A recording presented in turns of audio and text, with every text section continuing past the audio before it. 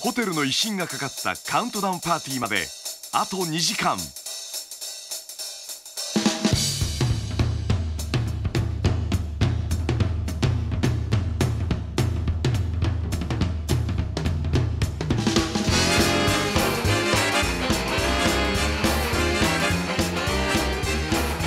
ここはお客様にとって第二の我が家。ですから私たちはお客様をお迎えする時お帰りなさいませと。総支配人の頭の中にはパーティーのことしかないんだよ。嘘でしょ？もうすぐ新年ですよ。うちはなあんたみたいな業者は出入り禁止。職業差別？人生最悪の大晦日だな。悪徳代議士として語り継がれるんだよ。散らかってませんように。太った。関係ない。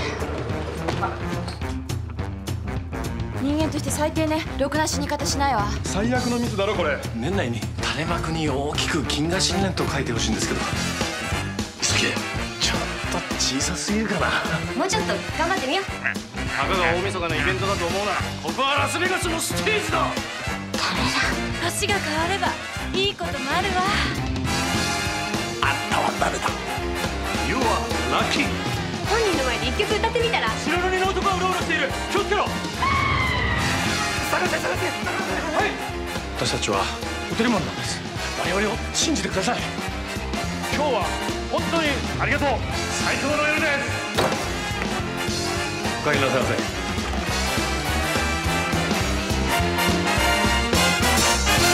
ザ・有頂天ホテル。